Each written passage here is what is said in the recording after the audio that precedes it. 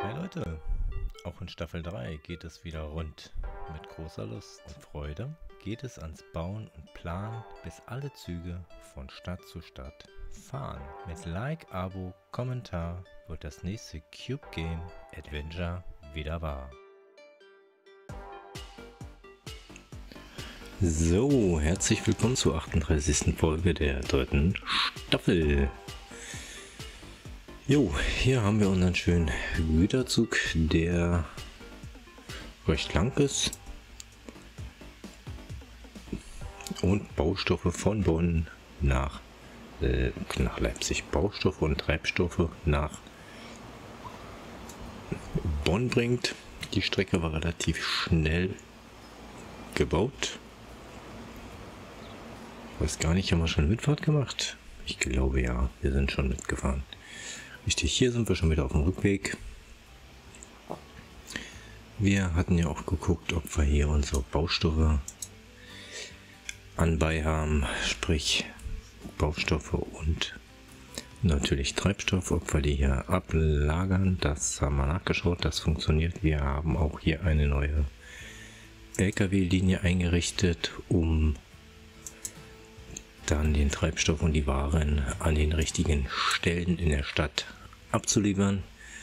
All das haben wir gemacht. Hier sehen wir auch gerade unsere LKWs, die hier die Güterstation verlassen. Ja, noch wissen, noch wissen sie natürlich nicht, was sie laden sollen, aber das wird sich gleich ändern. Ich hoffe, dass der erste LKW die ersten Waren gleich mitnimmt wenn die dann ankommen, zum Beispiel die Baustoffe oder vielleicht werden die auch direkt verteilt am Bahnhof. Keine Ahnung, wir werden sehen. Zack, auch er hat hier nichts dabei. Und ja, wir schauen mal. Vielleicht ist es ja auch so. Oh, hier liegen Baustoffe rum. Aha, aha, aha. Äh, lass mich mal gucken. Haben wir gar keine Verbindung zum Depot oder was? Na doch, eigentlich schon.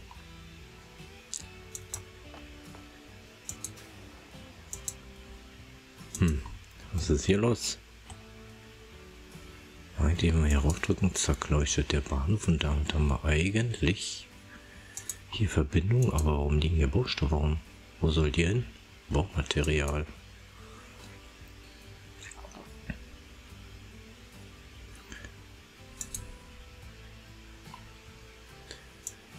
bis jetzt noch keiner abgerufen. Mhm, mhm.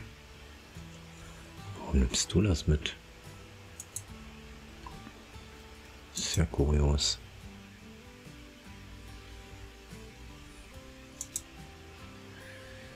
Ihr sollt doch hier, bitteschön. Ja gut, du lädst es jetzt ein, aber du sollst es ja hier eigentlich in Bonn benutzen und verteilen. Ja, lasst mich noch mal gucken. Oder uns gucken. Wir schauen hier noch mal. Jetzt haben wir noch mal 16 Baustoffe, die wir hier ausladen. Mal gucken, was mit denen geschieht. Also 16 Stück kommen an. Mal gucken, was wir jetzt machen, was damit passiert. Fünf Stück werden hier hingelegt und die werden dann hier mitgenommen. Aha, aha, schau an, guck her. Gut, aber die anderen liegen hier und damit wird Bonn definitiv beliefert. Für wen haben wir denn hier noch Baumaterial? Baumaterialien. Aha, hier liegen auch welche rum. Cube City. Aha.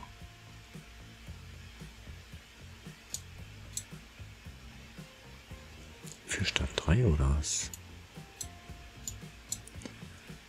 Cube City bekommt doch Baumaterialien oder was? Nee, es wird dazwischen, dann wird umgelagert. Holla, holla, holla, holla, holla. Naja, gut. Dadurch, dass Cube City noch nicht seine eigene Baustofflinie hat, wird hier definitiv noch über irgendwelche anderen Linien werden hier die Baumaterialien hier abgeladen. Du fährst dahin. Aha. Na, ist ja hochinteressant. Okay. Gut, auch hier liegen Baumaterialien rum. Wo geht ihr hin?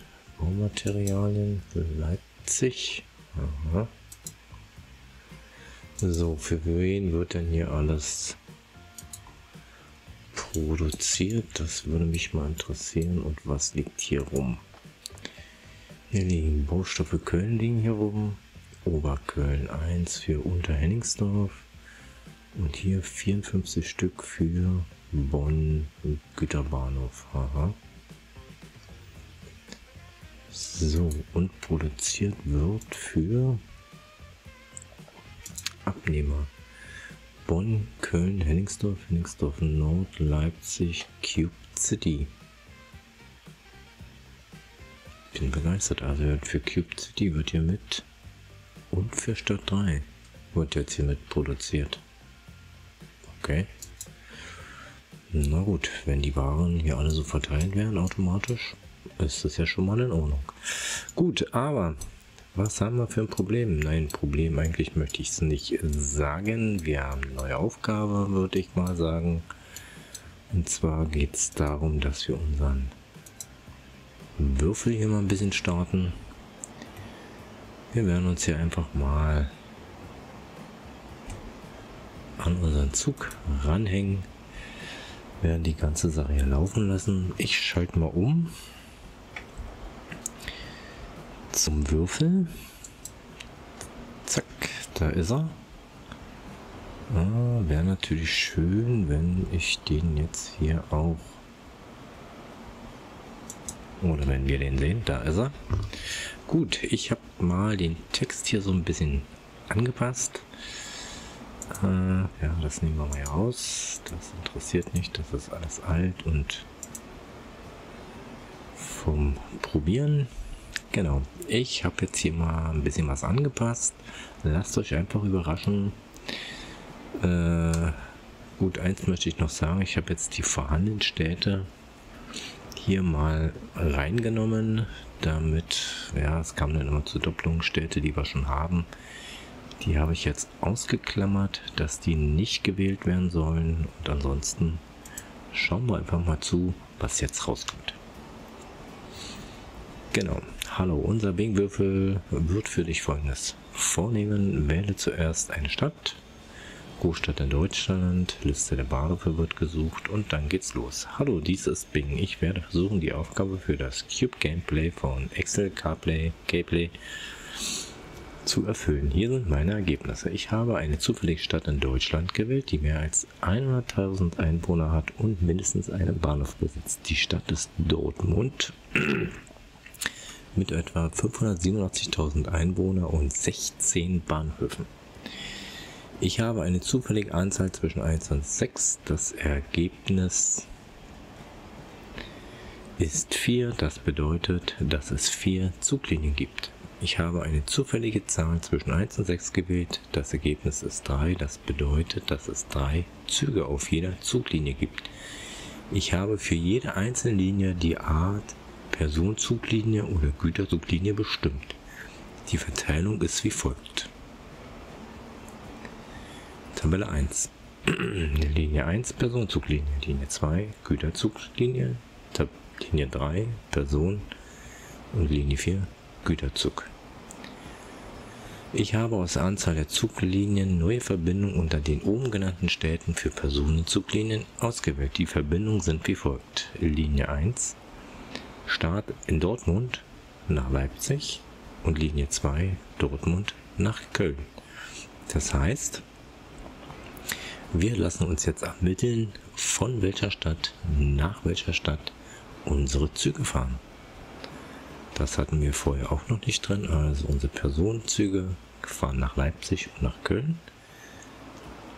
Und, und das Ganze oder das gleiche gibt es auch für die Güterzuglinien. Die starten natürlich in Dortmund. Das Ziel, ja, lassen wir hier mal außen vor. Aber die Industrie ist wichtig. Also Baustoffe und Maschinen sind für Dortmund bestimmt. Das heißt, äh, wir werden als erstes mal das Ergebnis hier abspeichern. Als PDF vorzugsweise. Zack, zack, zack. Dass ich das hier einfach mal so habe. Ich drucke mir das mal aus. Das wäre Würfel Nummer 5. In Folge 38. Zack. Und sage einfach mal speichern. Gut. Äh, Dortmund. Naja.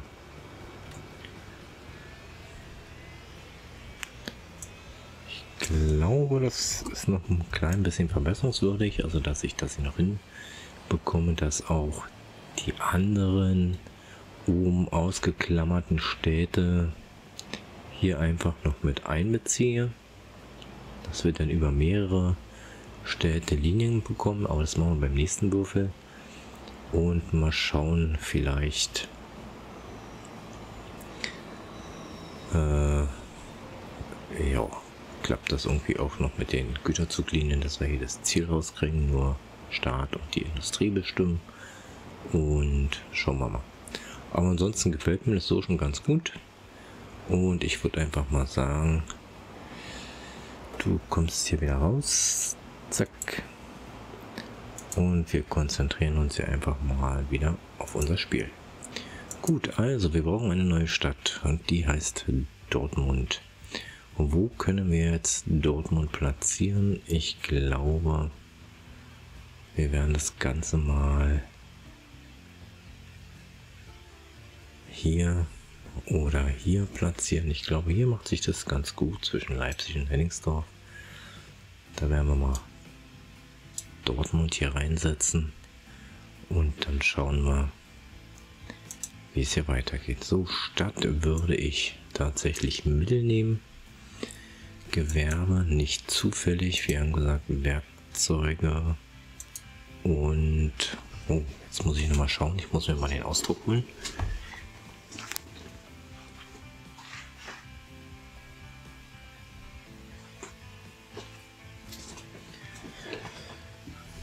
Gut, der Drucker hat nicht gedruckt. Wir haben es auch gar nicht klar was gedruckt. Äh, ich muss mal noch mal schnell nachgucken hier, wo das war oder was das war. Baustoffe und Maschinen. Aha, okay. Baustoffe und Maschinen. Also, dann ist das hier gleich mal zufällig und Industrie, Baumaterialien und Maschinen. So, und der Rest bleibt auf zufällig und das passt. Zack. Dann drücken wir hier rauf. Es wird eine neue Stadt gebaut. Stadt Bruck wäre das, aber wir haben gesagt, das wird Dortmund. Und damit, zack, ist hier einfach mal Dortmund gesetzt. So, wir schauen mal, wo ist hier die Industrie. Hier ist Person, da ist Industrie. Dann lasst uns hier mal die Bahnhöfe platzieren. Zack, Gebäude. Wir nehmen hier mal, jo, ich glaube mal den. Sechs Gleise, 320 Meter, Hochgeschwindigkeit und natürlich Oberleitung. Dann drehen wir uns das Ganze mal hier hin. Wir brauchen hier nicht allzu dicht dran an Dortmund.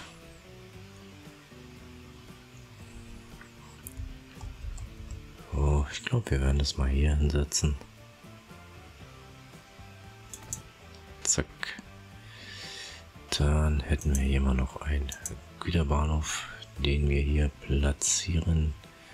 Wir werden ja auch mal einen Durchgangsbahnhof nehmen. Den setzen wir genauso hier hin. Damit, wie gesagt, hier nochmal ein bisschen Platz bleibt für städtische Baumaßnahmen. Genau, lasst uns hier mal eine Straße vorne ransetzen. Schwupp, Damit ist der Bahnhof angeschlossen.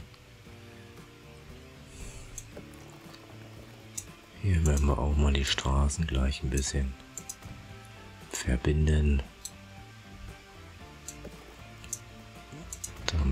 Unsere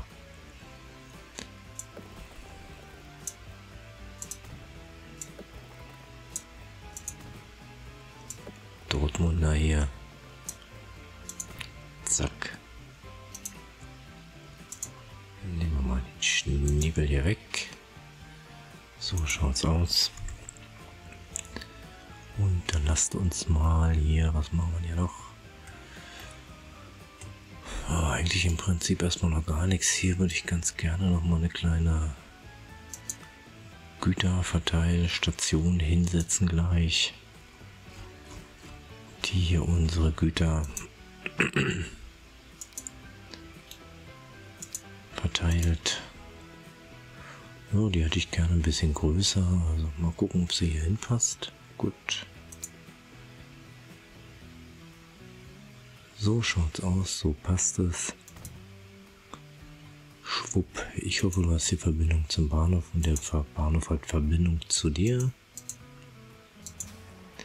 Jo, das hat er. Und wir werden hier auch gleich mal einen Busbahnhof hinsetzen, weil auch den benötigen wir hier.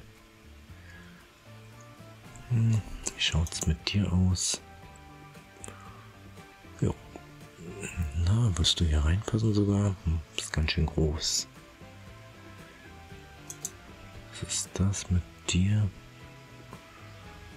Ja, bist auch nicht gerade klein, aber du könntest definitiv hier reinpassen. Aber hier so eine Straße oder keine Straße hier, das gefällt mir natürlich nicht. Wir könnten dich hier hinsetzen. Ich hoffe, du hast dann noch Verbindung zum Bahnhof. Das wäre Grundvoraussetzung, dass du hier bleiben kannst.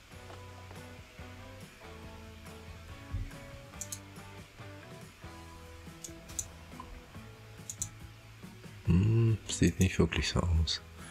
Lasst uns mal hier zu Testzwecken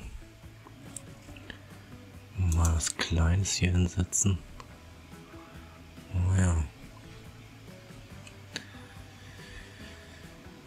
Vielleicht. Ah. Komm, wir werden hier noch mal kurz die Sachen beiseite schieben.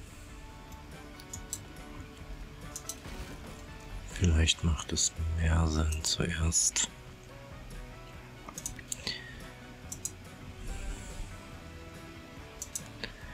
dich hier reinzusetzen und dann die Straßen hinzubauen.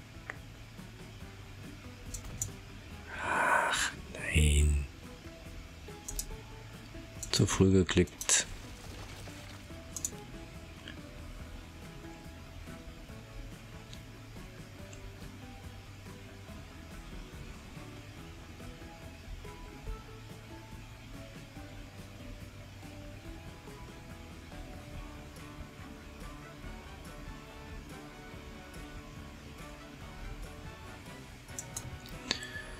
So, hast du eine Verbindung zu seinem Bahnhof? Zack, da werden wir uns mal gleich hier an dieser Straße ranhängen.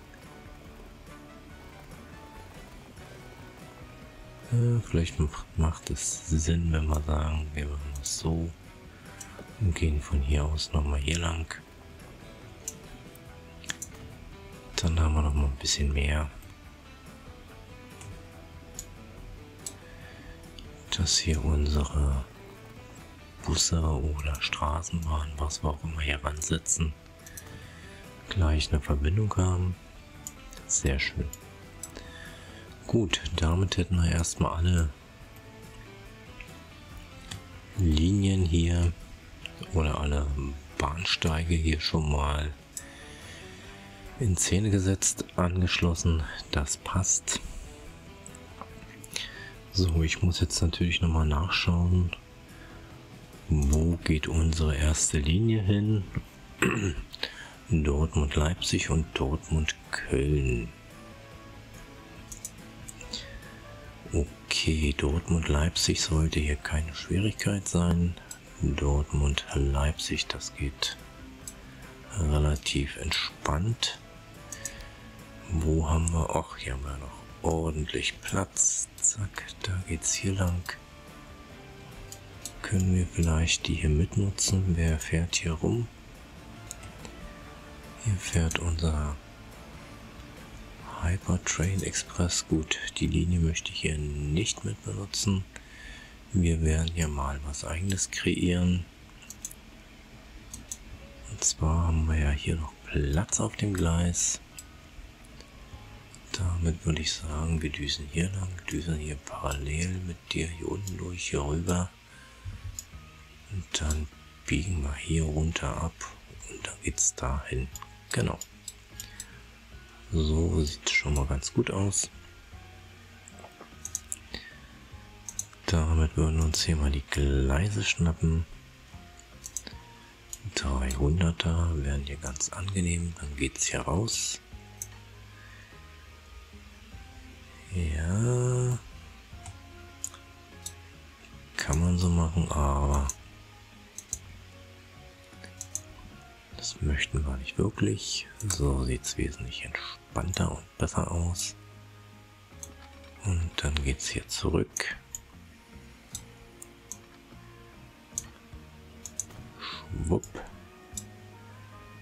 So, da wir hier gleich mal unser Tool ein bisschen anwenden möchten, dass das hier alles ein bisschen geschmeidiger wird.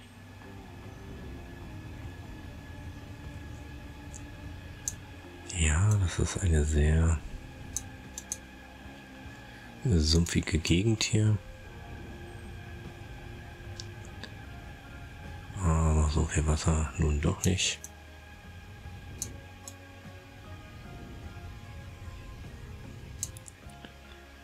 So, was ist hier los? Irgendwie.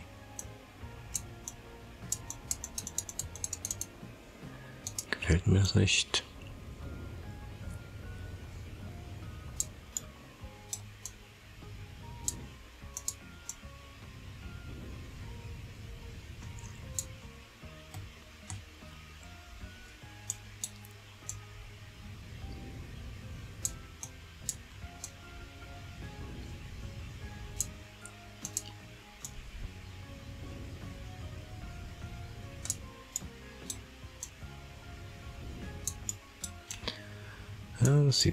Komisch aus hier.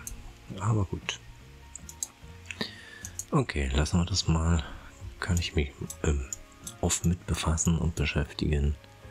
Jetzt wird es erstmal Zeit, dass wir hier ein bisschen was bauen. Ja, anscheinend kann ich mich doch nicht oft damit erst beschäftigen. Dann müssen wir wahrscheinlich vorher schon mal ran. Ansonsten wird es hier nämlich nichts mit bauen, wie ich das gerade feststelle geht's so weiter, so geht's weiter. Dann können wir ja hier eigentlich sagen, ja, wir werden uns hier mal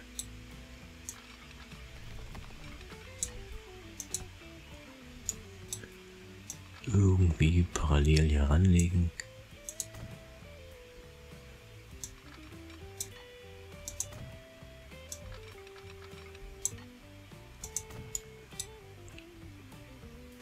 Zu unserer Hypertrain-Linie.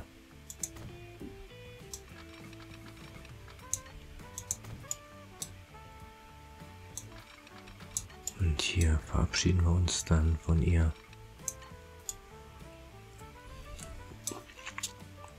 Ja, da geht es immer kurzzeitig ein klein wenig langsam um die Gegend, um die Kurve und dann kann man wieder beschleunigen. So, haben wir hier mal ein Paralleltrack, was wir benutzen können. Das können wir. So, dann sollten wir auch hier definitiv rüberkommen. Und hier lasst uns mal ein bisschen zur Kurve ansetzen, so dass wir hier unten durchkommen. Mit 160 definitiv reicht völlig aus.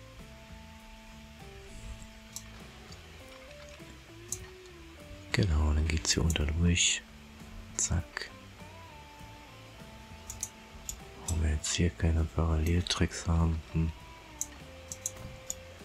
Verstehe ich nicht, aber egal. So, wo müssen wir lang? Wir müssen ja, im Prinzip hier vorbei.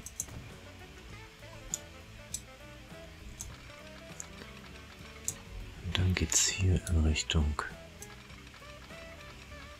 Dortmund in den Bahnhof rein.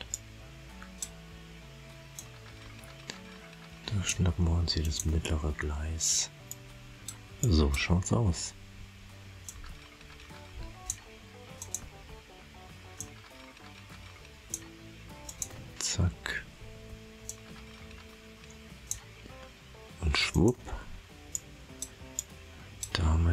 Das eine und hier werden wir mal gucken, dass wir uns dann irgendwie in Richtung Köln begeben. Aber das werden wir dann erst bei der zweiten Linie festlegen.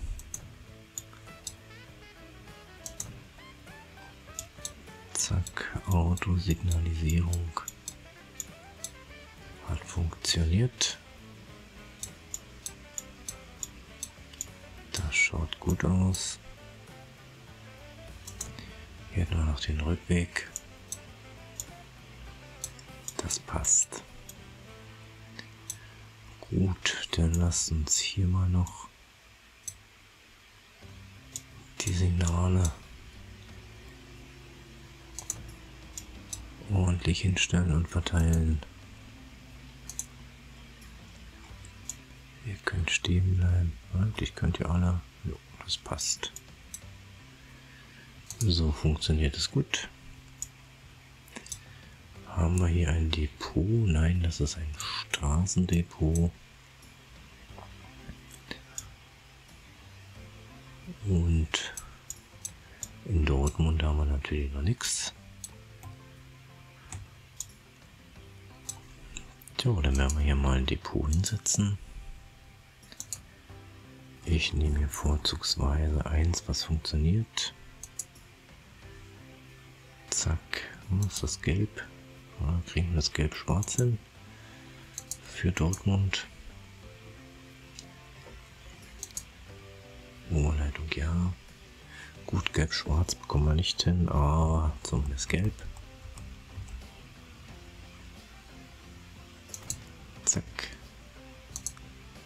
Damit haben wir ja schon mal ein Depot. Dann müssen wir mal gucken, wo wir die Gleise haben. Hier haben wir eins. 120 reichen ja völlig aus.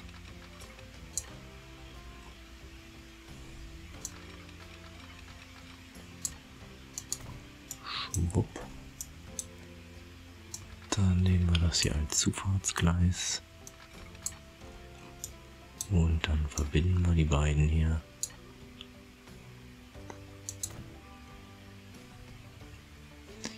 So, da wir jetzt noch Paralleltricks hier dran hatten, müssen wir hier mal die Gleise ein bisschen verbinden, dass das hier nicht so auffällt, dass wir geschlafen haben. Beim Bauen. Gibt es noch die kleinen süßen Signale, unsere Zwergis. Eins und zwei damit wir hier eine ordentliche Zugverteilung haben. Wir haben hier eine neue Linie, das wird eine, eine RB wird es werden, die RB5. RB5 dort und nach Leipzig. Zack. So, Station, kommst du hinzu. Und du, Zack, Leipzig Hauptbahnhof. Ja, unsere Fahrzeuge sind an einigen Stellen etwas älter, das ist mir bekannt. Gut, wir müssen momentan ein bisschen sparen, also schauen wir mal, was wir hier an Zügen rausbekommen. Ich habe da mal eine Idee. Oh, mit 90 km/h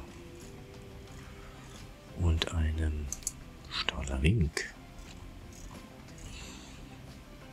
glaube, den können wir bis nach Köln nehmen. Und hier werden wir uns wirklich mal für den Schienenbus entscheiden. Den machen wir mal sechsteilig. Und da ich schon wieder vergessen habe, wie viele Züge wir hier einsetzen. Äh, drei. Naja, wie immer. Drei. Nicht schlecht. Den kaufen wir. Eins, zwei, dreimal und sagen ganz einfach, du fährst hier auf unser RE4 5, sorry, von Dortmund nach Leipzig. Schwupps, und da gehen hoffentlich die Tore auf. Und ich hoffe, unser erster Kandidat kommt hier raus. Wir beobachten das mal. Da ist er. Ja, den schauen wir uns mal an. Und die Mitfahrt machen wir dann natürlich in der nächsten Folge. Gut, wir haben hier mal 1, 2, 3, 4, 5, 6 dieser schönen alten Schienenbusse. Ja, auch genannt Ferkeltaxe, zumindest im östlichen Teil Deutschlands. Ich kenne es auch von früher unter dem Begriff Ferkeltaxe. Ich weiß nicht, ob, aber ich glaube, das ist hier die DB-Variante. Ich weiß nicht, wie er da hieß, aber wie gesagt, bei uns im Osten hieß das Ding Ferkeltaxe. Und ja, ist auch bei uns hier gefahren in Henningsdorf, nach Weltenkrem, Neuruppin, ich glaube sogar bis nach Wittstock-Dosse hoch. Also das war ein richtiges Schienennetz recht großes Schienennetz, Rheinsberg, Löwenberg und wie auch immer. Ich glaube, Liebenwalde sind die auch gefahren. Also das, da war richtig ordentlich was los mit den Teilen. Und ja, bei uns auf der Anlage fährt das Teil hier von Leipzig nach Dortmund. Und ich werde mal meine Klappe halten. Bleibt mir gesund. Jo, bis zum nächsten Mal. Tschüssi, euer XLK.